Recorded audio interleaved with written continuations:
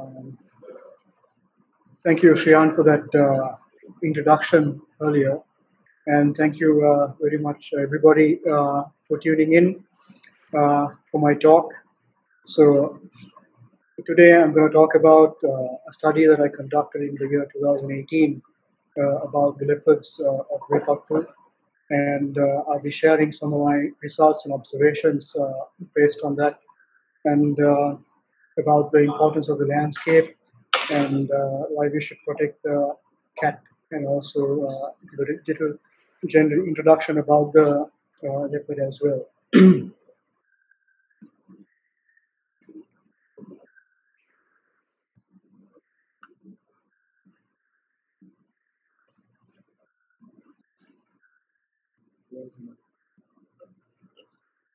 So just click this? Yes. So before I uh, begin my lecture, I would like to uh, dedicate this to uh, to everybody who has uh, uh, contributed uh, the time and effort towards the conservation of the leopard in Sri Lanka, and those who have contributed through their scientific work and conservation efforts to protect the animal, and also everybody who has put all the effort to uh, uh, to make Sri Lanka an important destination for leopard weaving globally. And I'm deeply thankful for everybody for all this effort they put into. so uh, the leopard is, is one of the most adaptable big cats in the world. And uh, this picture really says it all how uh, so this is a picture of uh, uh, leopard from Sanjay Gandhi National Park, right in the middle of the Mumbai city, which is um, uh, extremely busy around and it's just an isolated fragment of forest right in the middle of the city. And these cats are surviving uh, somehow uh, with whatever prey, prey, that's available. And they are right now in uh, coexistence with humans. There's a population of about 35 to 40 individuals in this 100 square, square kilometer uh, area of forest patch. And uh, uh as you can see in this map, uh, the leopard is found from Africa right across right across Asia and right up to Java. And uh, the Javan leopard and the Sri Lankan leopard are the only existing uh, surviving uh, island leopards in, uh, in the world. And uh, one of the reasons why the leopard is so adaptable uh, is it has over evolution over evolution it has achieved this perfect medium medium sized body where it requires less protein uh, compared to its competitors, such as other large big cats, such as lions and tigers. So they can uh, they can survive in whatever whatever prey that's available in the landscape. Uh, so as you can see, this graphic over here, uh, leopards able to feed on animals as small as dung beetles to giant eland, which weighs about thousand kilograms, and also there are populations in Cambodia where they're known to bring down animals as big as uh, banteng uh, that are 950 kilograms, 900 kilograms uh, uh, in total weight. and also um, in Sri Lanka, they're known to feed on lizards, uh, small garden lizards, noisy lizards, hare, and animals as big as sambar deer and young buffalo. And um, the Sri Lankan leopard is an endemic subspecies, uh, phylogenetically much younger subspecies. We believe that it arrived Sri Lanka somewhere around the late Pleistocene, uh, early Holocene period, and uh, and was in isolation uh, for more, more than 10,000 years without any intraguild, that is, without any direct competitors such as other apex predators.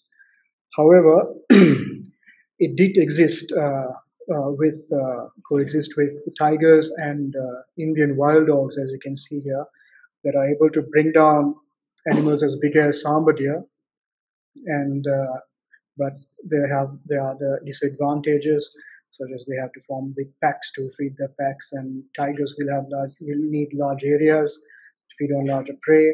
Uh, but the leopard and its uh, adaptable uh, behavior has uh, outcompeted uh, Uh, these large carnivores and are now in uh, uh, competition with the other most adaptable species in the world, that's us humans.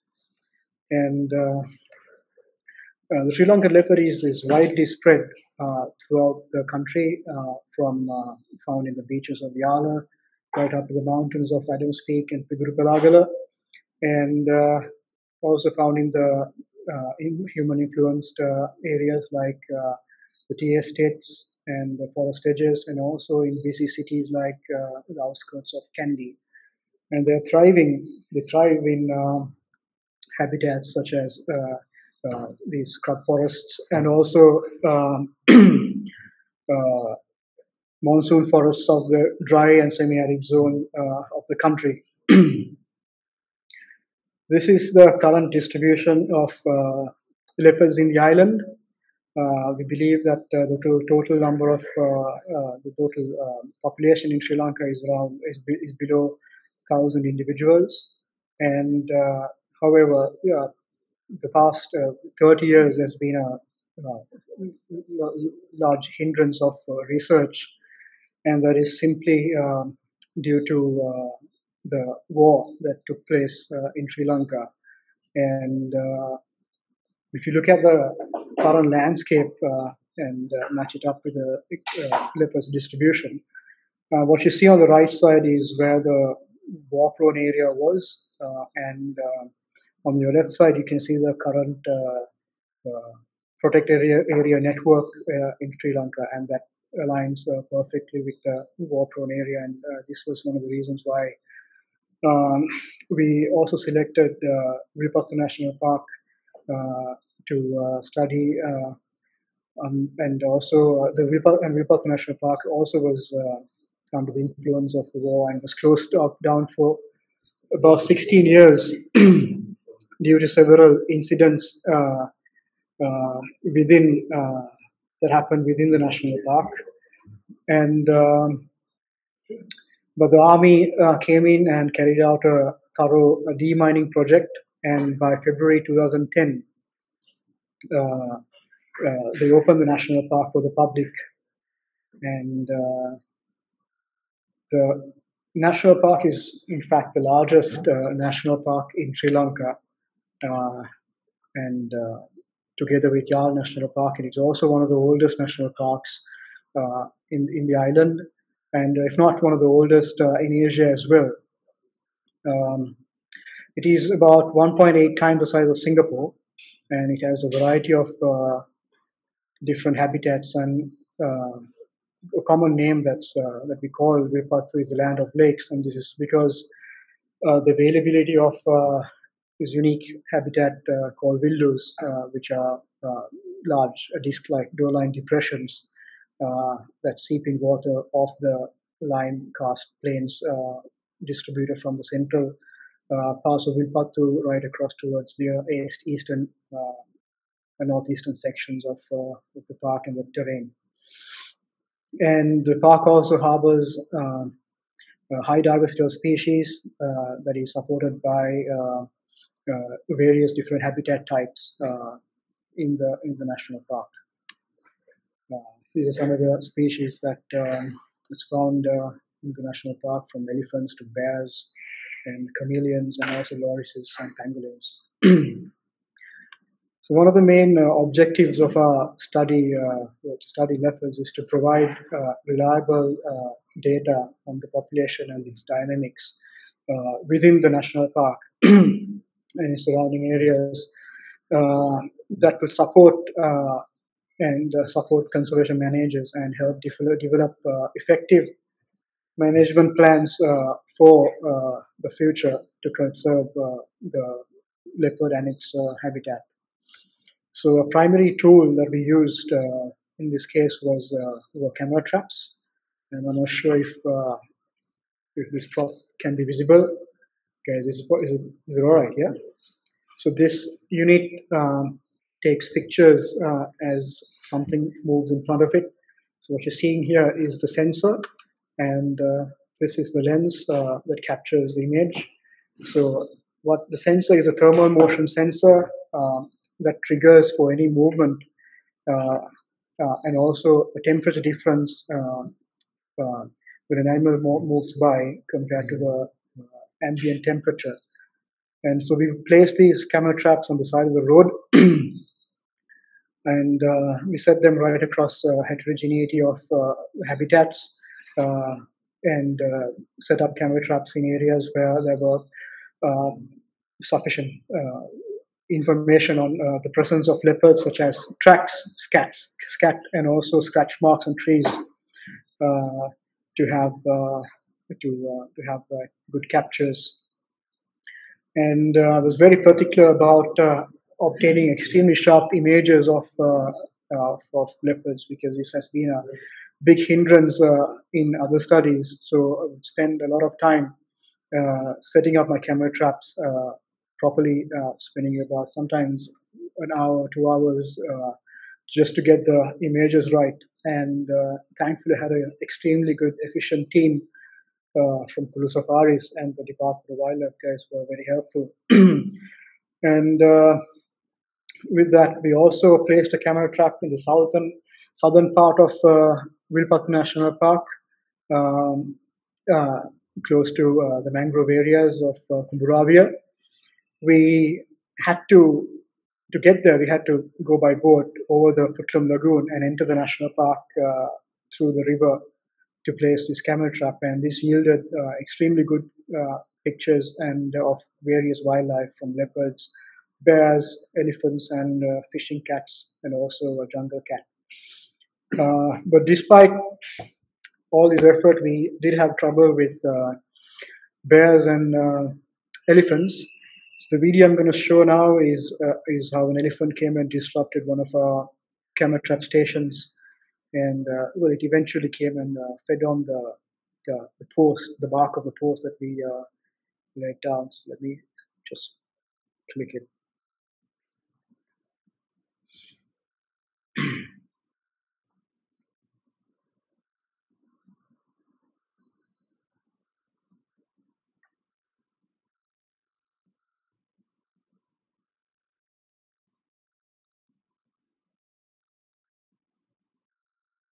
Yeah. Regardless of all that, we managed to get some really good pictures of uh, of leopards. Uh, this was a big male that was found in the southeastern parts of uh, frequenting a large area, and would also would observe we would observe it traveling about sometimes 20 kilometers uh, in one day, uh, triggering a series of camera traps. And this young male that was found in southern parts of Wilpattu close to the Maduwa area, and this beautiful uh, female from Lava tank, and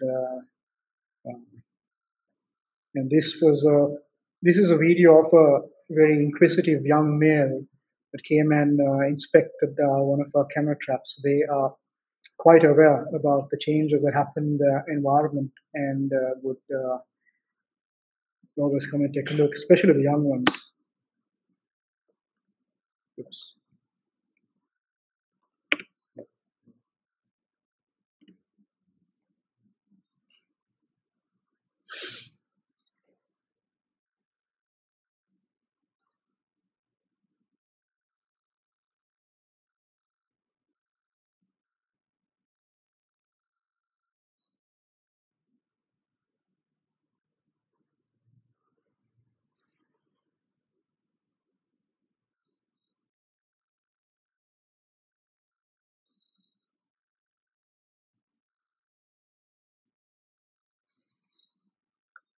And we also managed to capture some great images of uh, various other sea species, such as fishing cats, as you can see on the picture on the bottom left, and the jungle cat, and bats cleaning, uh, possibly for mosquitoes and other external parasites, uh, insect parasites, and uh, this this another inquisitive bear that came and destroyed our trap station in this this case. I will talk a little bit about uh, leopard identification uh, because this is something that's very important uh, when it comes to estimating density of, of uh, any animal that you want to study. And uh, it's not hard, it's just very easy as lions, unlike lions or mountain lions that have uniform coat colors, uh, where you have to rely on uh, whisker spot ratios and just you have to have a good shot of the face. Whereas leopard, jaguars, and cheetahs have spots and rosettes all over the body. So all you have to do is just uh, manage to get a good picture and uh, compare with uh, uh, another and just select a good portion of it and try to match it up. and what you do here is uh, just look for patterns. Uh, pattern recognition is the most important thing here. And uh, so just you can see like a human form in, amidst these spots and rosettes. So you take a good chunk and uh, just compare it and look the relative position of each of these rosettes and uh, spots. And I sometimes even name uh, leopards after whatever spot pattern I, I notice. Uh, now, in this case, I see, see it as a, a, like a ghostly pattern, so I call a phantasma. But I do have uh, uh, other the names that I put in with, uh, with, a, strong code uh, to uh, relate to the animal. And in this case, this is a male leopard, and you can see you just see the same thing. You take a chunk and then compare it with, and in, in this case, I see a stripe here, and just look at the relative position, position from here. I call this leopard linearis uh, because the stripe, and then you compare it with uh, the other flank, uh, that's available. But in this case, you can see that some of the rosettes and spots are a bit distorted. And this is because uh, it has possibly gone through some uh, um, uh, competition or uh, fight with another male or some other animal, and which is why you need to have uh, good then uh, good good pictures of of a good area of, of a leopard's flank or either both flanks. So in case, in this case, you can tell the difference and uh, identify the leopard as it's the same. And in case you can't, then you can look at the arm or the belly or the neck area uh, to get a good understanding and uh, match the species, uh, match, match the animal. Uh, sexing leopards is also important, and you get this right. Uh, it's pretty easy uh, you look at secondary sexual characteristics of uh, males and females, uh, availability and the presence of testes in males. And um, if you can see here, males will have uh, males will have a well-developed gular sac between the chin and the skin fold, between the skin and the neck. And males will also have a prominent belly fold, as you can see in this particular big male and with females, uh, pregnant females and uh, females who have just given birth will have their teeth uh, quite uh, prominently showing. So based on these characters, you can uh, tell the sex, and uh, also if you want, you can also age leopards based on these.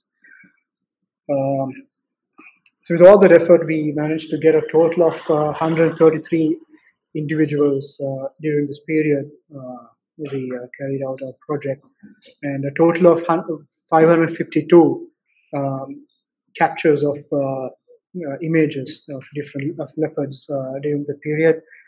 And of that, 17 individuals were under the year under the age of two years, and these are individuals individuals we discard from analysis uh, simply because there's a high mortality rate uh, for individual uh, juveniles it could be infanticide, it could be uh, deaths caused by bears um, and uh, wild boar, even jackal.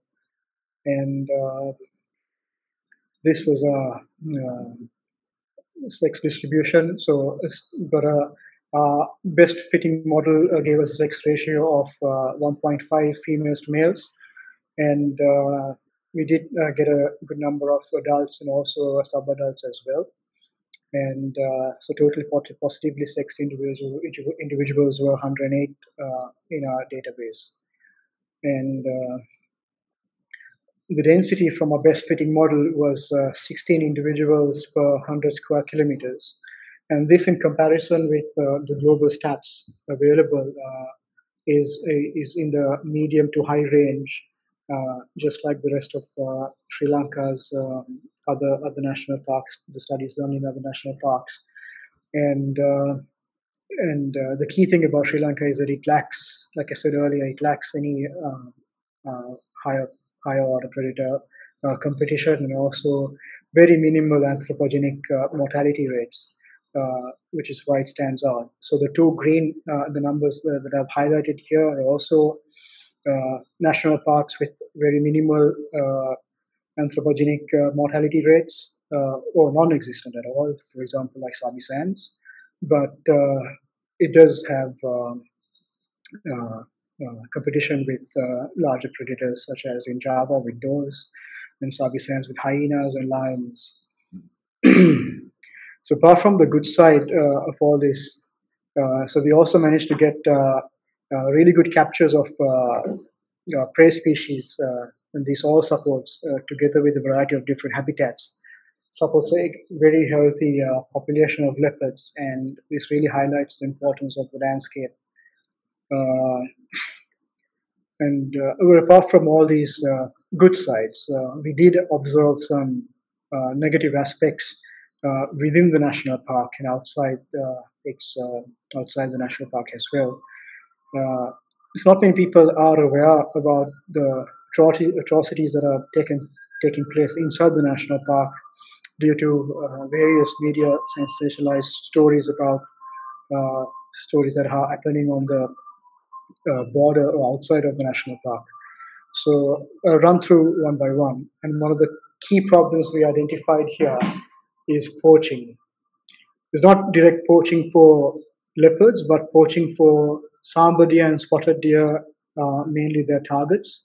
And these poachers enter the national park from the southern border, the eastern border, through the fence, and also they come by boat and ex- enter the national park via boat uh, uh, from the west coast. And uh, this is a massive problem that we identified uh, during the study. And there were poachers in the park where we were present doing our studies. And so this is a typical hide, and where people would dug a hole and stay there the whole night and stalk sambar deer, spotted deer, or even uh, uh, wild boar that comes to, comes to drink uh, water from these drying up waterholes.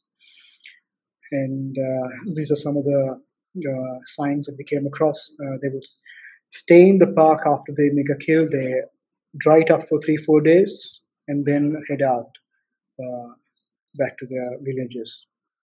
Uh, they walk in just like it's just their, as if it's their backyard, and uh, this is what we uh, found out. And Another big problem here in, in what we identified here was what I got to know is now it's somewhat under control is the expansion and the increase of uh, festive activities of uh, the Pallekandal church. So there's a very old church that's uh, in the national park, very close to Pomparippu, um, from the eastern entrance, uh, just north of Eluwankulama. And uh, just after the war, uh, they decided they had plans to expand the church, church's footprint, and basically encroach into the national park by being inside. And this would bring uh, all sorts of problems uh, to uh, ex- external pressure that's un- very un- unnecessary for protected area like uh, Wilpattu National Park. And increasing festive activities would result in uh, pollution, noise pollution, and could also result in retaliatory killings in, t- in, in case there's an attack by any wild animal uh, on a person that comes in. And we see this with Padayatra. It has been happening, and I believe it's time that uh, all these activities, the traditional activities, which are somewhat which are allowed under the FFPO, but it will be good to assess and reassess these um, activities uh, for the betterment of uh, of uh, wildlife and uh, nature.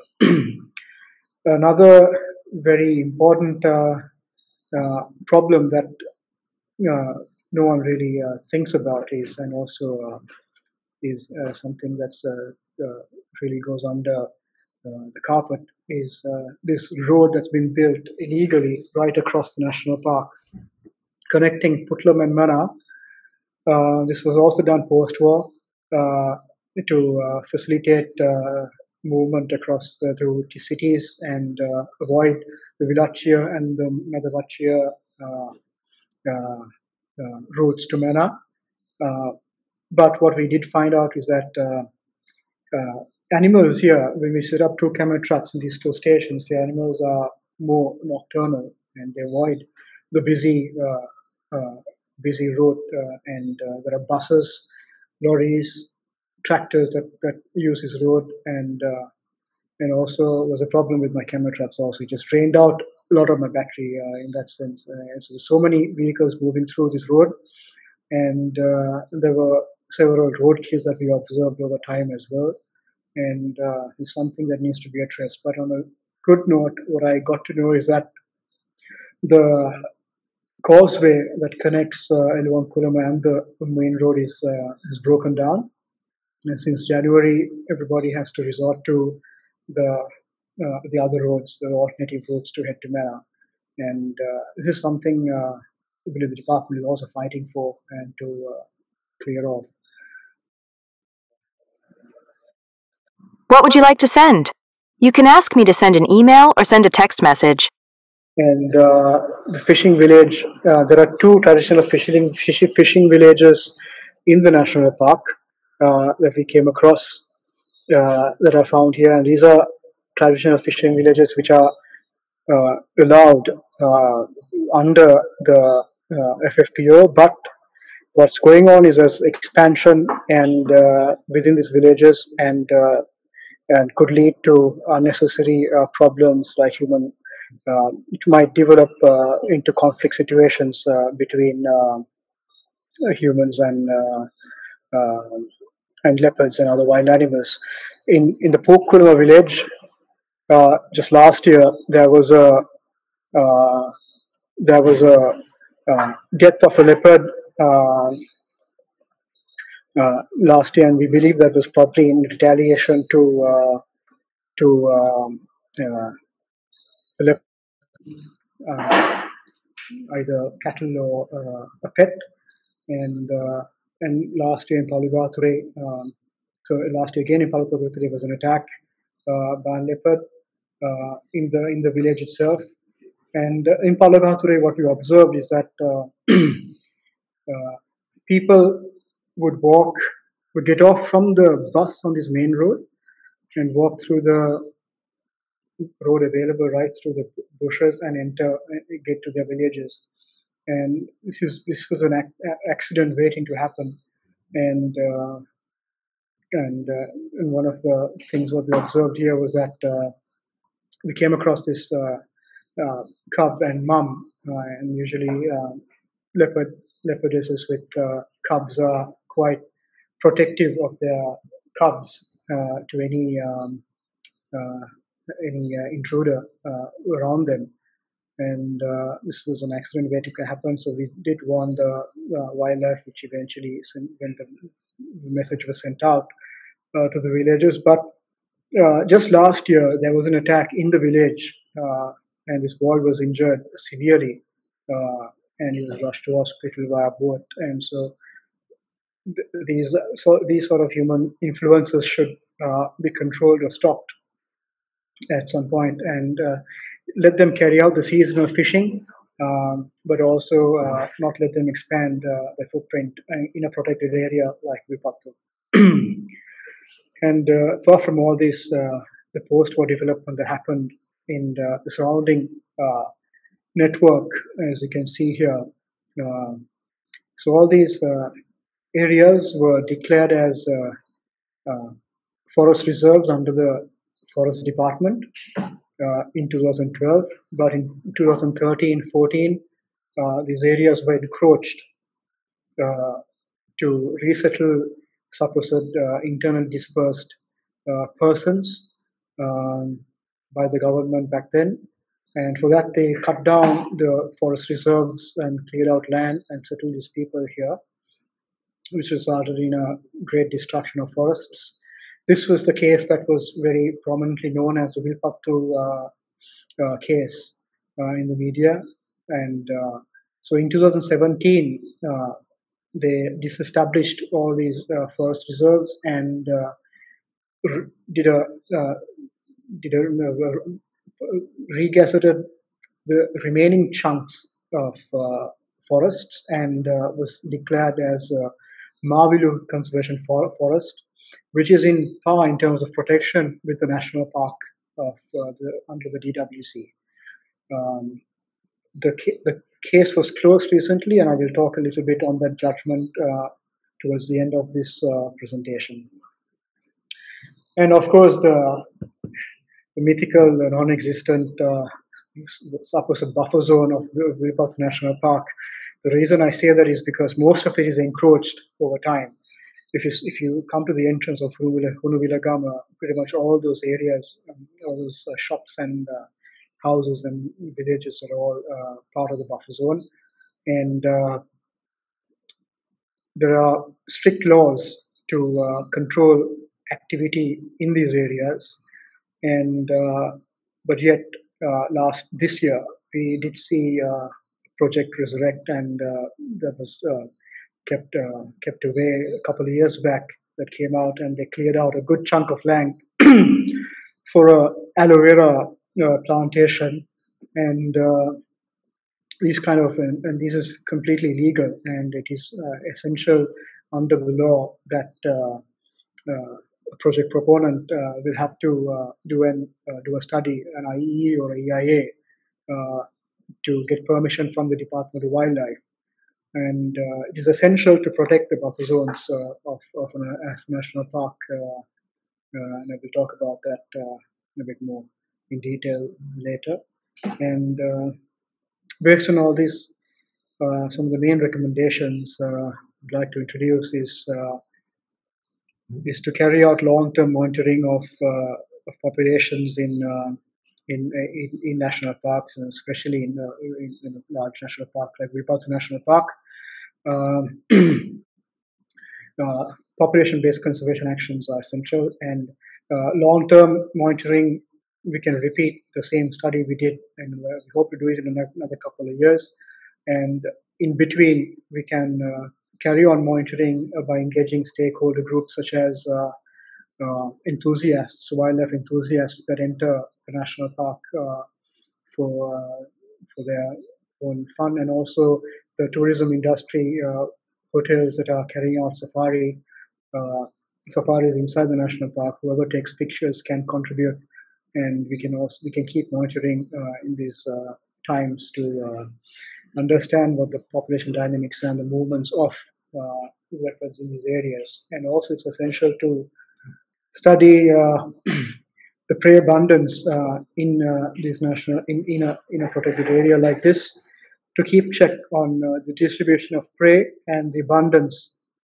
This can be done biannually or annually ideally biannually, biannually studying the wet and dry seasons. And uh, I'd like to see uh, the DWC introducing uh, such uh, such a project uh, to study uh, these prey prey abundance in in protect in protected area, uh, just as we've seen India with the forest department doing all this uh, there. And uh, it will be a it will be important to study how the dynamics are around the national park. Uh, look for human in leopard interactions that are already taking place and study closer at communities, uh, looking at the knowledge, attitudes, and practices. Because if you look around the border of Wilpattu, you have various different communities living uh, with uh, following different uh, uh, religious practices and cultural practices, so their attitudes will change and knowledge will change. And uh, in order to uh, uh, avoid, avoid conflict in the future, it will be essential to study these interactions in these areas. and of course, the most important thing uh, I want to highlight here is in, is to eliminate poaching in and around uh, the national park. uh, what you're seeing here, uh, these yellow points are the areas where we came across um, poaching activities. And uh, the blue lines, the pure blue lines, are areas where there are roads ex- in existence but are not used by anyone in the tourism industry. And the red and blue lines are the ones that are sometimes very seldomly used uh, by the tourism industry. And uh, well, the past year and a half, I think uh, these roads are not uh, have not been used properly because the roads are not in good condition. But this, the point I'm trying to raise here is that it supports the common notion that uh, the safari industry, tourism in national parks, somewhat uh, acts as a passive anti-poaching uh, method uh, to control uh, uh, poaching in these. So poachers avoid the busy roads and would carry out the activities in these less busy areas. And in, in addition to poachers, there are treasure hunters and honey collectors that get in to these areas as if it's a backyard and go about their illegal businesses. Um, so what we also found out was that um, the reason why they do this poaching is not for subsistence. Uh, there is a demand outside in Puttalam and also in Colombo where they send out dried up meat. So one request I would like to make in the pub, for, the public is to um, avoid uh, bushmeat as much as possible. Just avoid avoid bushmeat. I, I know it's available around in most hotels around national parks, and I know people go out uh, when they go out on pilgrimage pilgrimages or also holidays that they would uh, look for bushmeat as uh, especially locals they would go look for bushmeat, and uh, as we saw uh, this this whole year since last year December we had a total of uh, 12 leopard deaths. And uh, this, is all, this is all because of uh, poaching activities that took place right throughout the island. And uh, one way the community can help is by avoiding um, avoiding uh, uh, bushmeat and just saying no to it straight off. And once the demand is cut off, they will look for other options. The park warden stepped in uh, against this poaching problem and uh, took some really drastic drastic steps to control. And uh, must really commend him uh, for these activities uh, for that he took place took over.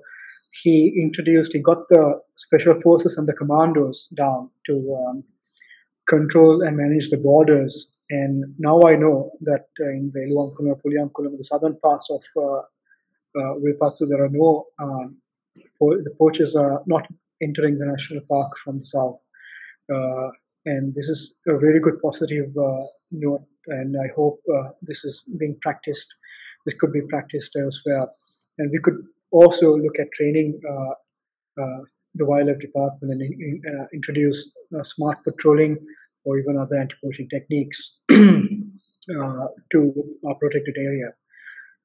And as I spoke about tourism, tourism, yes, it does help in some ways, but uh, it has to be responsible tourism practices. Everybody has to follow ethics uh, and follow the rules laid out in the national park. And, uh, and the common notion, a common notion, even among academics, that is that tourism is bad for national parks. But the, the, the theory here is that animals are already have been habituated for um, for jeeps and other vehicles inside national parks over time. And they see it as a neutral entity. Um, it all depends on the behavior of jeeps, but yes, it's a, it's a neutral entity that doesn't harm them and they are unable to bring down.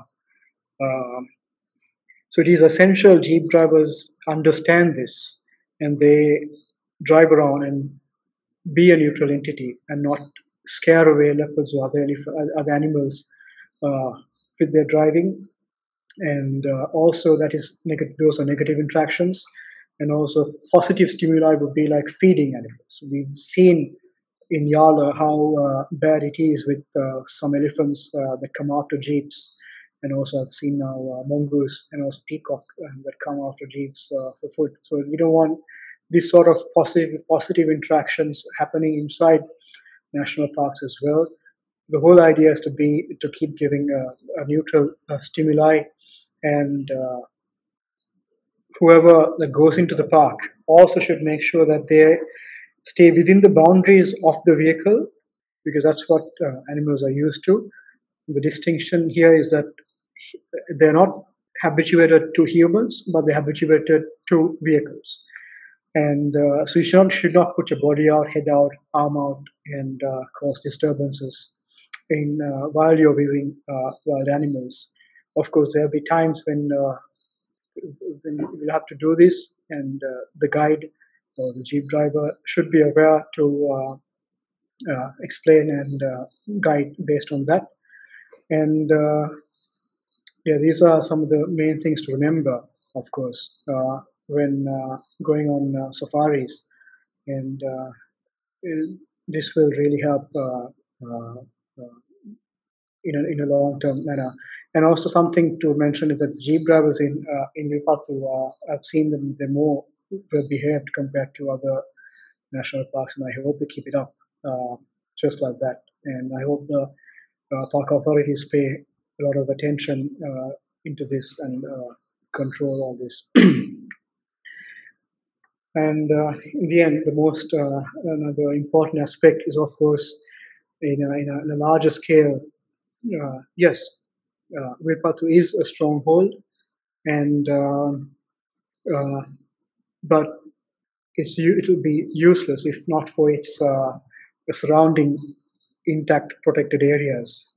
And uh, this is a unique case, uh, similar to how Yala is right now, with uh, surrounded by healthy protected area. And it is essential that these areas are the stay areas stay protected and the boundaries are kept uh, safe because fragmentation can lead to uh, severe uh, problems, uh, depletions in uh, populations over time, and especially with leopards that require large areas to move around and especially males, young males that disperse out of their uh, territorial areas to establish new areas, it is essential that uh, these areas stay protected. And these create what we call meta, meta-population dynamics, where a source population like Wilpattu would uh, keep feeding uh, low density populations surrounding uh, that are high, uh, that are, have some increased human activity, and vice versa, where animals can disperse into source population and maintain protection, uh, maintain uh, the integrity of uh, populations. And it's also essential to main, maintain, minimize harmful edge effects and maintain the integrity of the buffer zone and reduce conflict between humans and leopards. Yes, like I said earlier, humans are known to uh, inhabit and thrive in uh, some uh, disturbed land, landscapes, such as in India, as, as we've seen with Dr. Vidya Athreya's uh, studies, and also in Sri Lanka, where they are found in uh, busy uh, surrounding areas of busy cities like Kandy. Um, but these areas are highly fragmented, and in the future, we really should be looking at connecting these forests that are fragmented and uh, make sure there are population dynamics and meta population dynamics in existence uh, especially for an insular population like Sri Lanka. Um, if you look at uh, where we are in, in, comparison to the rest of the subspecies, we are actually in a better position. If you look at the range loss over time, uh, we are also in a much better position. And uh, also, if you look at the populations in Sri Lanka, most almost 50% of them are found within protected area. And this is a huge advantage uh, uh, for the Sri Lankan leopard. And if we compare this with the other insular population, the Javan leopard, uh, that is uh, that has a very small fragmented population uh, found in protected area. And so we are actually in a better place. And I think, I believe this is the right time to act and move forward. And uh, the key things is, like I said earlier, is to make sure our protected areas stay protected. And it's not just for the leopard, and uh, it's for also the other species that supports the leopard, uh, which is a keystone species. And uh, also because eventually, um, if the populations start to decline, and uh, there are uh, the fragmentation of a protected area network keeps going on, and uh, we can't we, we don't have any can't any, we can't seek for any transboundary uh, connections as we have seen with some recoveries uh, with tigers and uh, leopards in uh, other landscapes. As we are an island as, as we're an island. So it is essential that uh, we think right now and uh, authorities politicians the general public public have a general sense about um, uh, the situation we are in right now. Yes, the leopard is a highly protected species uh, by the law, and it is also a keystone species that controls and is an essential part of the ecosystem. Uh, when you take a large predator out, uh, the ecosystem collapses, and uh, we've seen this happen in uh, many areas outside Sri Lanka and also within Sri Lanka, but there are published evidence of this outside this is something to think about.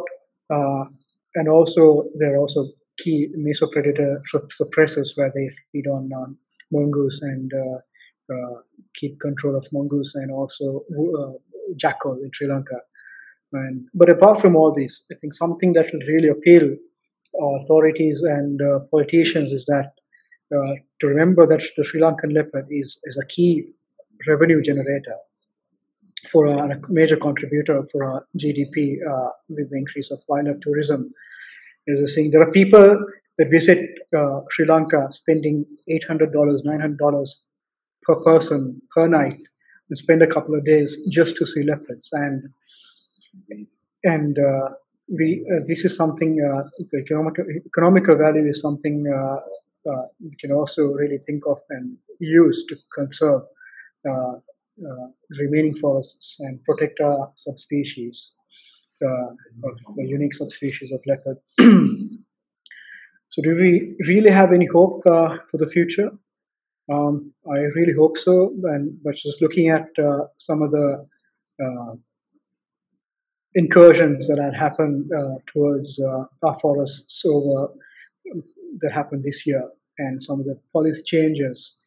Uh, I think we are in a very a bad position, and it's it's high time that politicians and authorities really pay attention and uh, get there and reset uh, properly uh, to start all start all over and get things right. And um, on a positive note, there was his latest landmark judgment that came out last Monday on the Wilpattu case, as I spoke earlier, where these uh, IDPs were uh, resettled.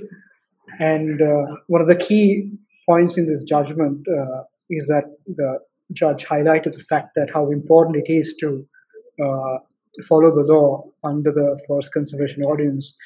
Over time, uh,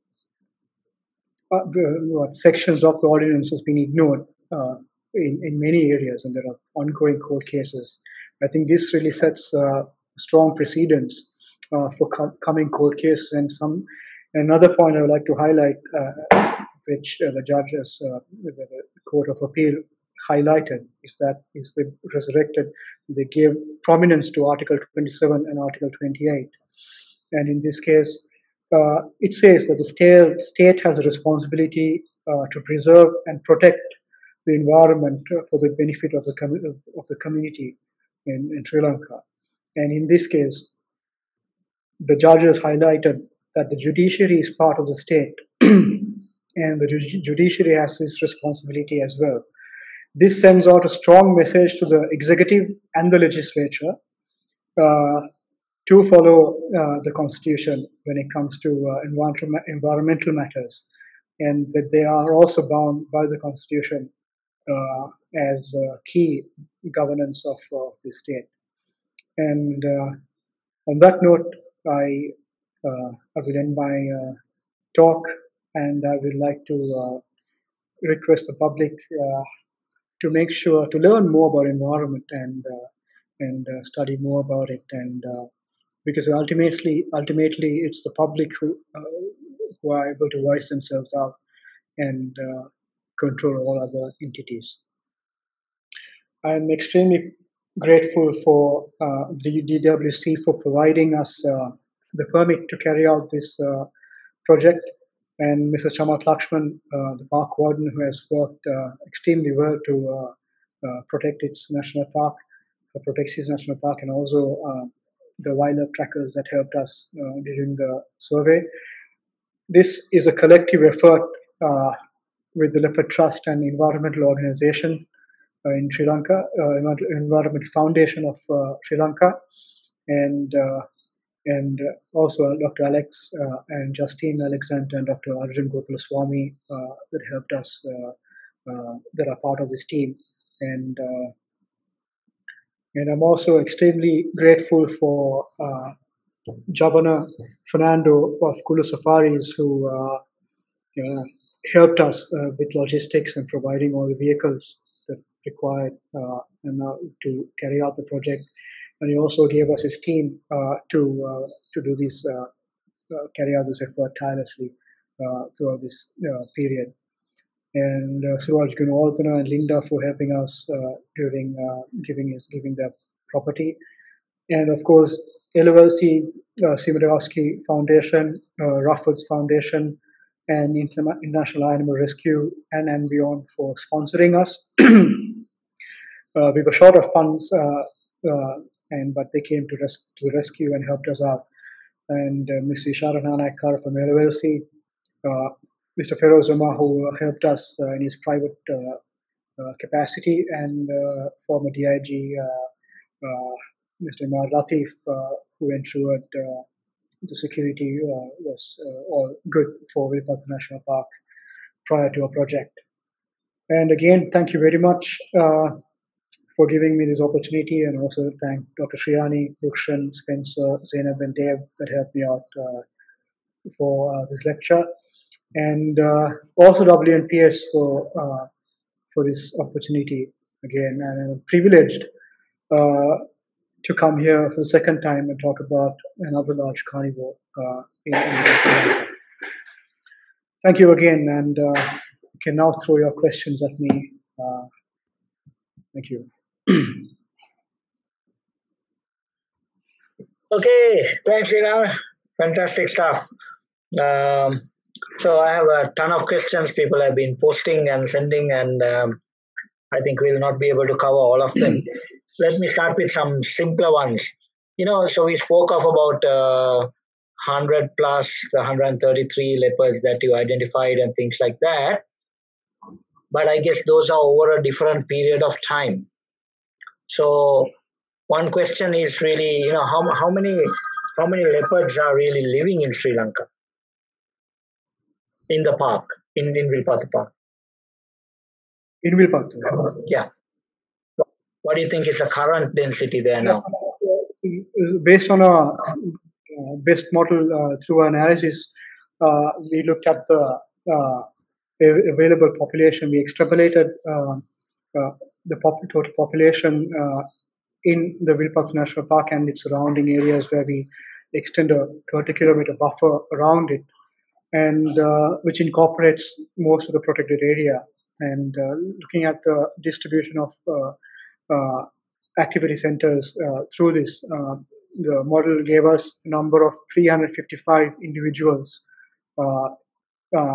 in this area. So yeah, yeah. Well, that's that's a fantastic number. So so there was a you know some intrigue. I also noticed that you know the the density in Wilpattu uh, in your model was very close to the density in Horton Plains. Yes. Right. So that's a very interesting uh, number.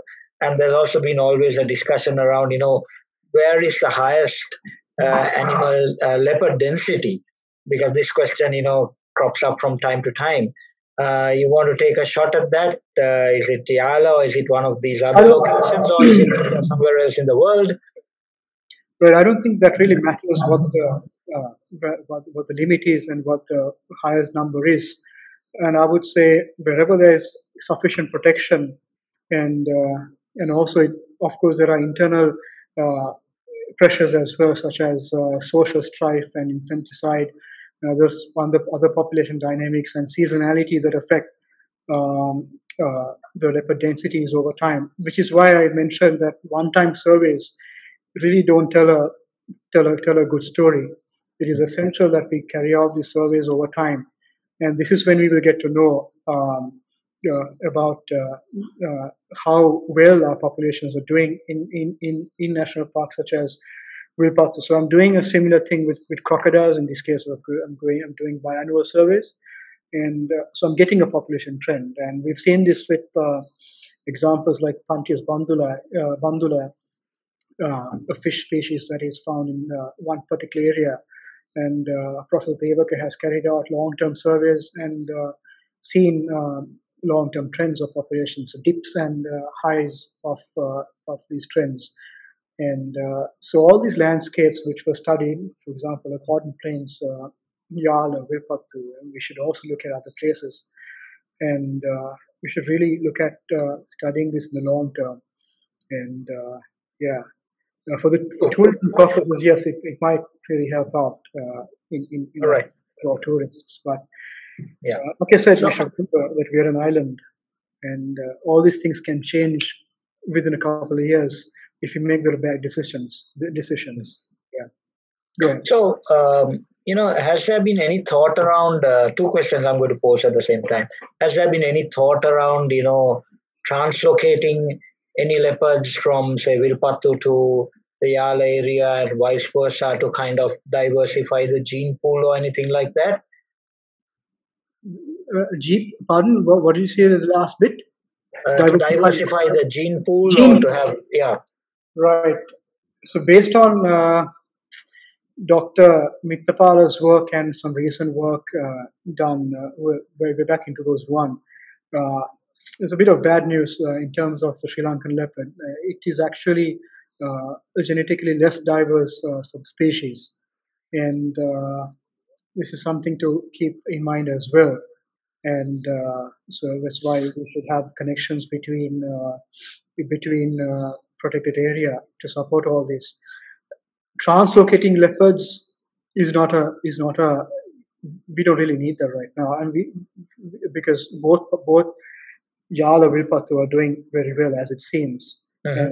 Both both uh, landscapes are very well connected with uh, other protected area, and uh, right if you look at the protected area network, you'll see Yala connected with Kumana, then further north of La, connects with Lahugala, further north fragmented, but still connects to Gal Oya and then Maduru Oya and also Wasgamuwa. So leopards use terrain, uh, undisturbed terrain that you would not even think of, right? So right.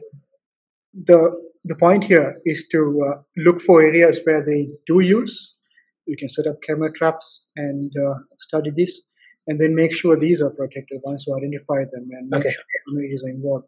Translocating animals and uh, to to make mix a gene pool, uh, I don't think that will work. And I think we need to update uh, and do a thorough study uh, of population genetics in the island, especially looking at the montane and the wet zone species, with the wet zone, wet zone populations and uh, which are highly fragmented and uh, uh, and also the rest of its range.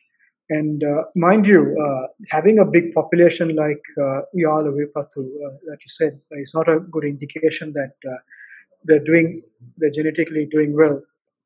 We have come across some uh, individuals uh, where we think uh, could be uh, uh, what we're observing is possible because of uh, uh genetic uh, uh, depression. Yeah. Depression, and this is something we are really looking at, and we will make it public with, with the coming. cool. So, so you're talking a lot about camera traps. Uh, and then you were speaking about the, the you know your access by boat. Uh, talk to us a little bit about two things. One is you know what goes into the selection of a camera camera trap location, you know, uh, and also maybe, you know, just cover the fishing angle of uh, the leopards, you know, how keen are they on fish as prey?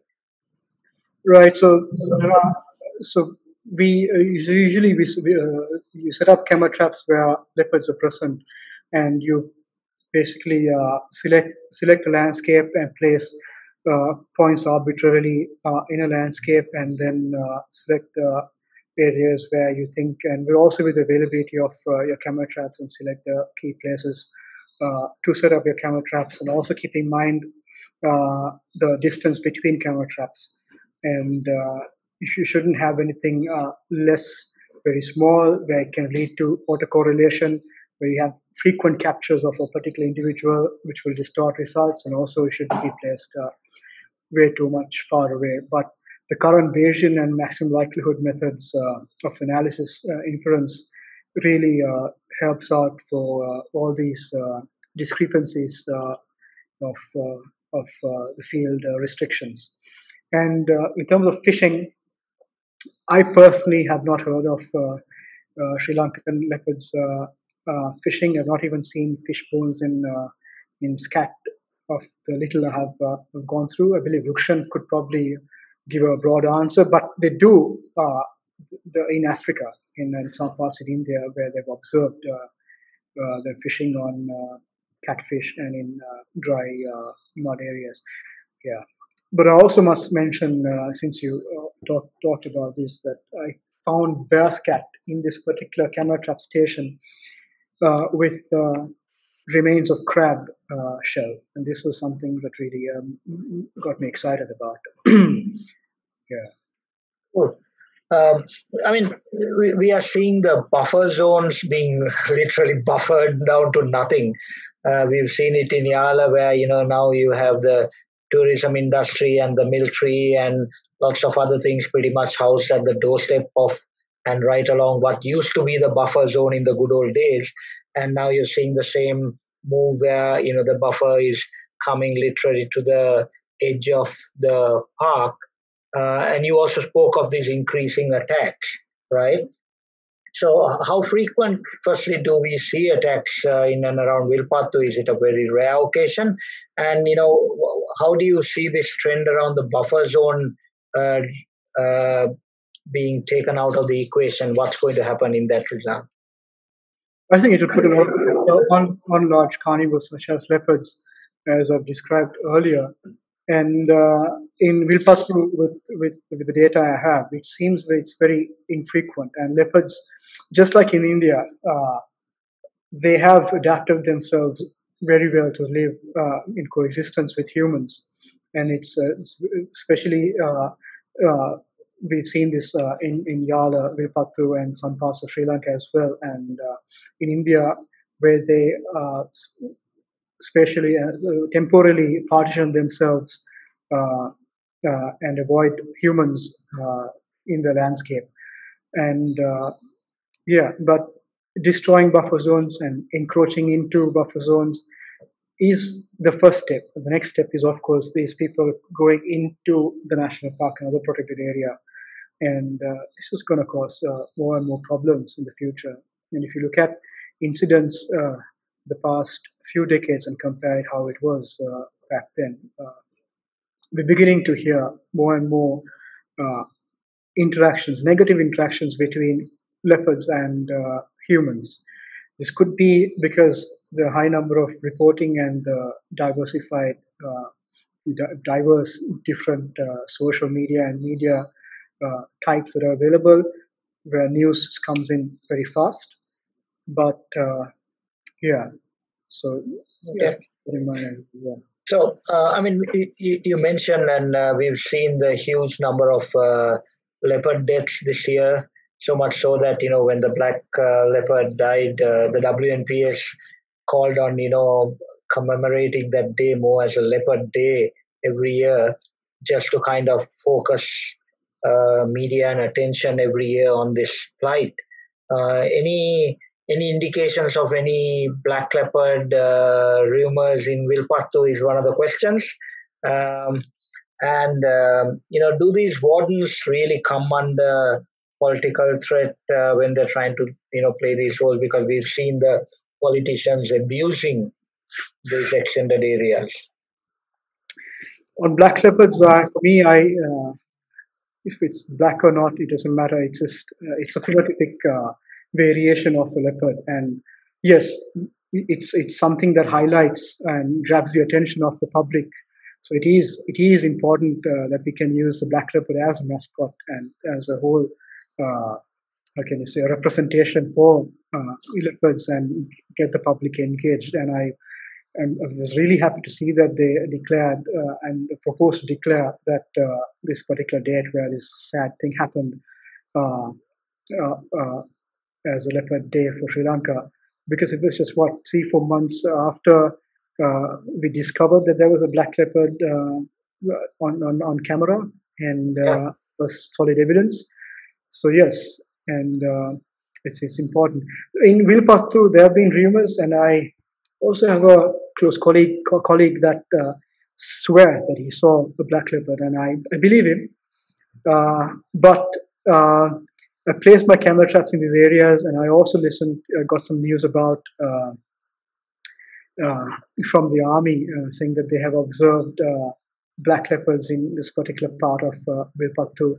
And I had I had camera traps stationed in these areas well, before I uh, got this news. And uh, but I must say, I ran these camera traps for a good period, 93 day period, and I did not come across any uh, any, okay. any black leopards. Uh, they could be there, but what uh, what what they're saying is uh, what, what what we are finding out is that black leopards are more common and found in areas where there is more high, humid uh, humid more humid areas, and uh, one of the most prominent areas in the world is uh, uh the lower parts of the uh, Isthmus of Kra, where pretty much 70 to 90 percent of the population of, are of black leopards, and we see this trend in in in, in in Sri Lanka as well, and Africa and other parts of its range.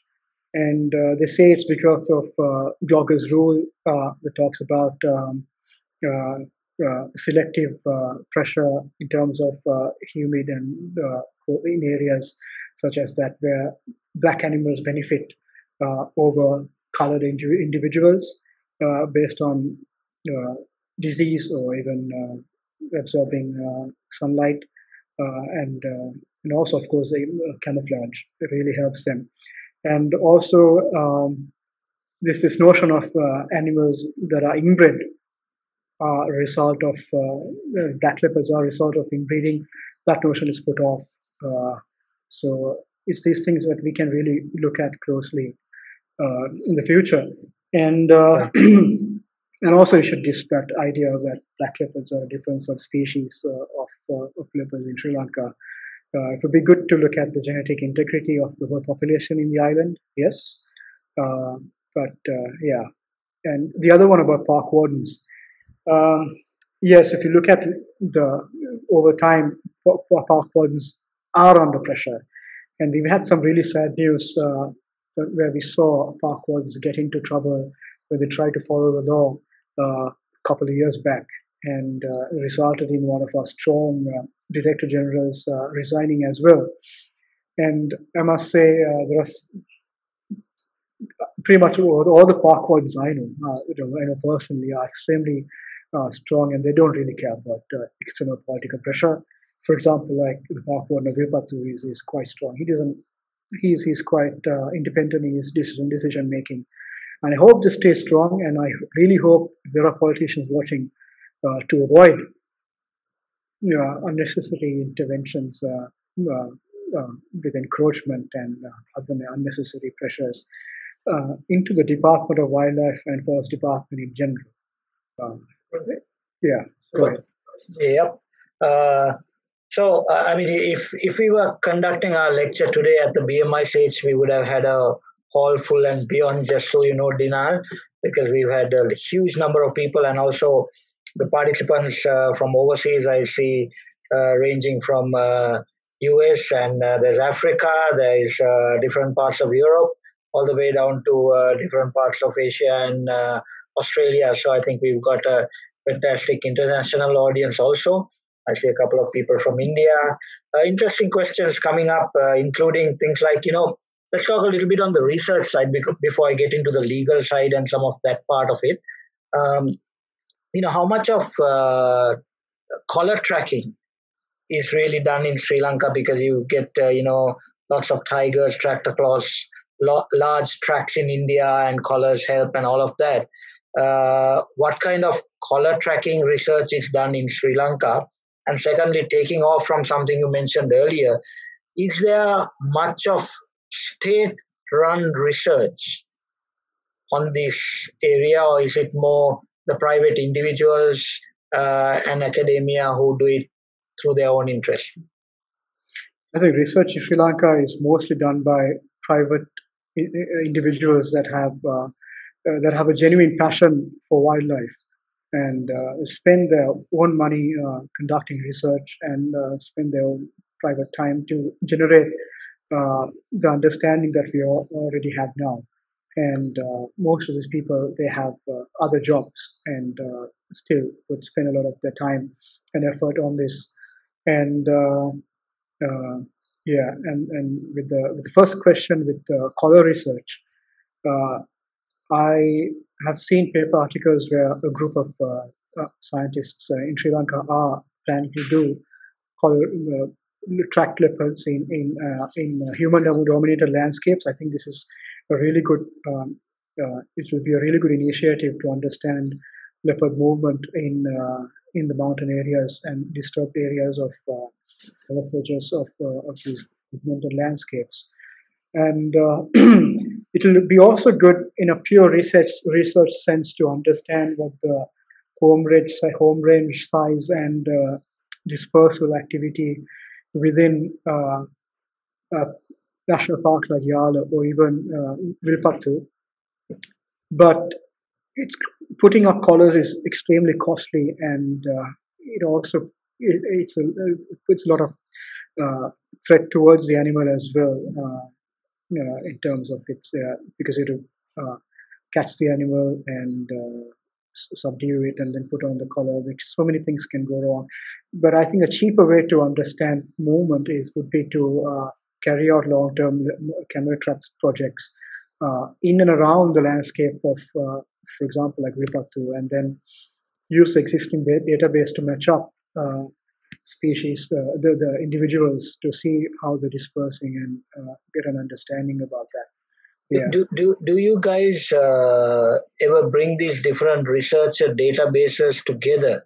Uh, pardon me for saying this, but I know that in the research community, people are very protective about their research, and you know, not everyone is as open to share data, and you have all these pockets of information. So where does this come together, especially when it's done privately and individually, like you described? Yes, so some, one of the suggestions I had uh, uh is uh, even during a meeting we had in WNPS is to have a collate all the data and make a make sure make a national database on on our leopards, and this yeah. way we can uh, work on the idea that I just spoke about, uh, like they do with tigers uh, in, in in in India, and I think this, this is something that we should really look at, and uh, because there's only a handful of researchers that work work on leopards, and yeah. if we can just get together and uh, and uh, get this thing up and uh, running, it will be it will be it will be beneficial in the long run. Yeah. Sure. I mean, uh, WNPS, if ever needed, we'd be happy to play a neutral mediator and play a role in uh, collating these. If you know researchers would like us to play that role, because we would have only a conservation interest. So let's see. I think you know collaboration has to be a way forward if we want to kind of collectively do more. Um, so I, I, I mean, uh, there, there's this recent thing around drones.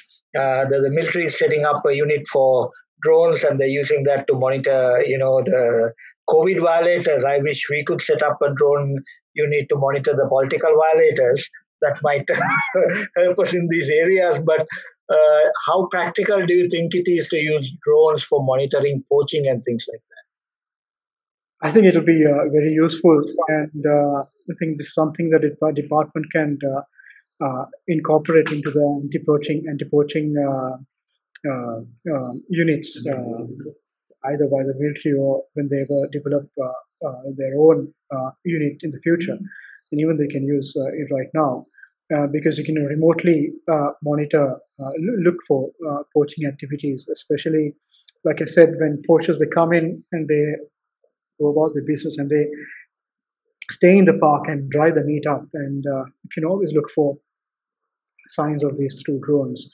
And uh, one thing I would like to uh, um, tell, tell, the and also tell the department in, in one way is that we can use drones to monitor prey uh, abundance and distribution of prey uh, and do aerial counts without spending money on helicopters. Uh, now that you have drones, you can uh, grid an area, select uh, a portion, and then carry out abundance counts on on deer and other prey species of national parks. Yeah. I'll take one or two more questions because we are kind of close to time and I mean there's a lot more I have but let's shift to the legal side. Uh, everybody is keen to know, you know, firstly, uh, I, I think one question I can kind of answer. I saw that on the news that you know this judgment on the reforesting uh, that the minister was handed down.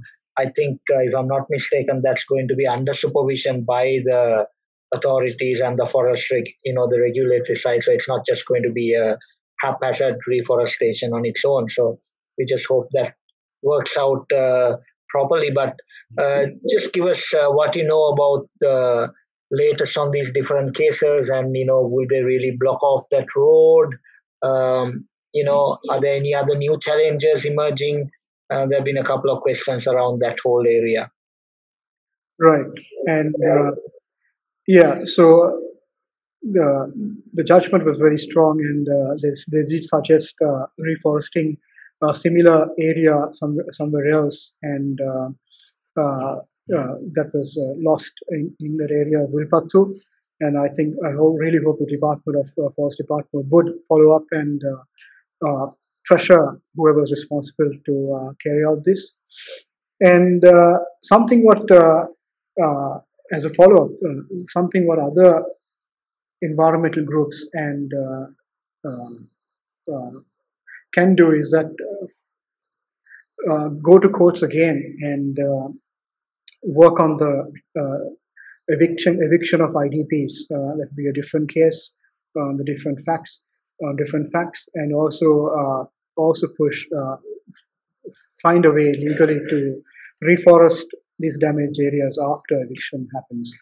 So Vilpattu is one just very famous case that we have heard due to media uh, sensationalization. I, I should be really saying Vilpattu, I keep saying that, but uh, there are other cases even worse than what we saw uh, the northern Vilpattu boundary uh, incursion. Uh, for example, is, is Hakgala Nature Reserve. And uh, I would like to uh, ask uh, if anyone knows about this, because this is a case that has not got any attention. Uh, it's an ongoing court case.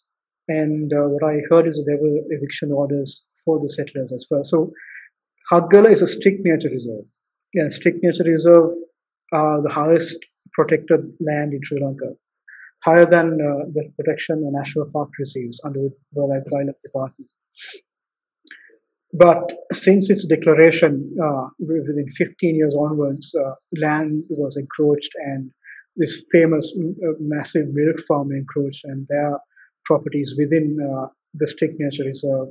And uh, since then, several uh, presidents also allowed encroachment, and now there are schools and and permanent settlers in, in in and around uh, Nature Reserve, Strict Nature Reserve. So there are many cases like this uh, which are not heard of, and uh, I think it's it's, it's it would be good if uh, the media can really look closely into these cases. And EFL handles several cases. The WNPS, WNPS handles um, several cases, and uh, yeah, so that's a, those are things that uh, and Hakgala is, is a very important uh, montane forest. is is a key watershed area, and uh, if these encroachments keep happening, and we've come across uh, during field visits, we've come across uh, poaching activities in these areas where people set up snares just just near the just near their houses to uh, catch the wild boar. And uh, these this once they set up a snare, they they don't they don't just set one snare. They set about thirty snares in that area. Wow! And it's it's it's likely that leopards uh, do get killed, and most of these just go un, un, un unheard of. And uh, so yeah, so I think the media has a role in this case to dig up uh, and look for right. cases. Yeah. Yeah. So, so I mean, just uh, on that note, if there are any people, I mean, I know there are people on the call who have connections and who are, some of them I know from the list of names, uh, are directly linked with media or part of media. So our ask would be to kind of help us take this message out. Uh, if you need our help to kind of organize a trip to some of these areas so that you can see firsthand, uh, we have networks, we can tap into researchers such as Dinal and so many others to uh, go to these hotspots so that you can kind of see for yourself and do the write up. That's how the partnership should happen between media and conservationists. Uh, was, uh, you know, fought very hard by many, many parties when it came to the Bathiudeen's uh, encroachment. And uh, I think, you know, hopefully we are seeing some turning, but uh, is it too late? Uh, I don't know. it's never too late. So we, we need to continue that battle. And I'm going to leave you with one last question, which is to link with tourism and you know certainly the overvisitation of parks because we've seen that in Yala. Um, there have been many proposals to kind of uh, control the visitation, all of that, but politicians and economics and Western parties have always fought those. On one side, tourism industry wants to protect. On the other side, the industry wants to explore this. Uh, what is the behavioral impact on these jeep populations uh, on leopards? Because on one side, yes, we know they see the jeeps as a neutral party, but how do how does it affect hunting, mating, and other behavioral sides of a leopard? Yeah, so it all comes to the down to the behavior of jeep drivers. Like I said earlier, uh, if they if they if they come if they disturb an animal intentionally and uh, then it will disrupt their behavior and we might not see the leopard again and uh, we have seen this in Yala uh, several times where because of the behavior of jeeps uh, where leopards are leopards becoming shy and avoid uh, vehicles and uh, I must add something to this too based on a couple of observations I've had where uh, leopards use vehicles uh, as a way to benefit their hunting. And I've seen this a couple of times where they use the sound of jeeps whenever a engine was switched on. They would use a sound to stalk, get close to a prey, and uh, uh, try and uh, uh, what go ahead with the hunt. And this is a very interesting observation I saw a couple of times in Yala. And of course, we've seen lions in uh, Masai Mara uh, using vehicles as a cover to uh, to attack deer.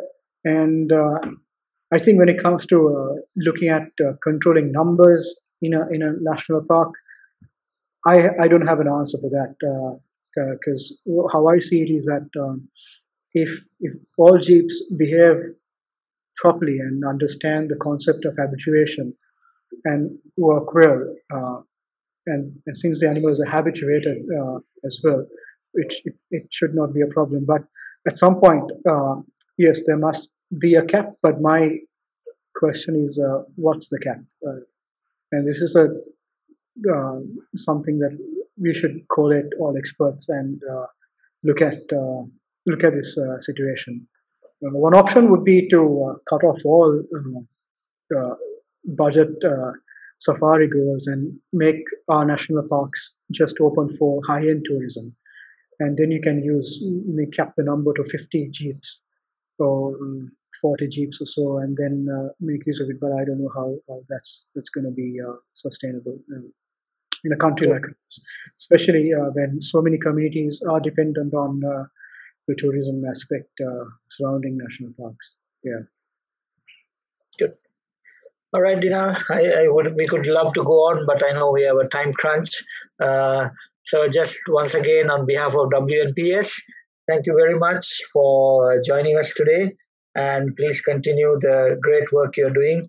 Uh, please put out more of this information, uh, which will help us to help you to help the authorities to conserve uh, these species. And we all know that the leopards are a keystone species, and as a result of conserving them, so many other uh, elements in the ecosystem and other animals get uh, conserved.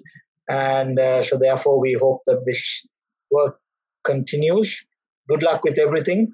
And uh, let me also thank the WNPS team who's been at different locations managing the logistics for the uh, webcast today.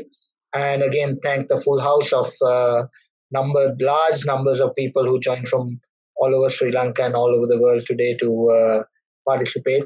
Uh, we hope we catch you at a future lecture. And please don't forget, we need your help, we need your time, some funds to keep us uh, continuing to engage in the battles of reforestation and conservation. Thank you very much, everyone. Good night. Thank, Good night. you. Thank you.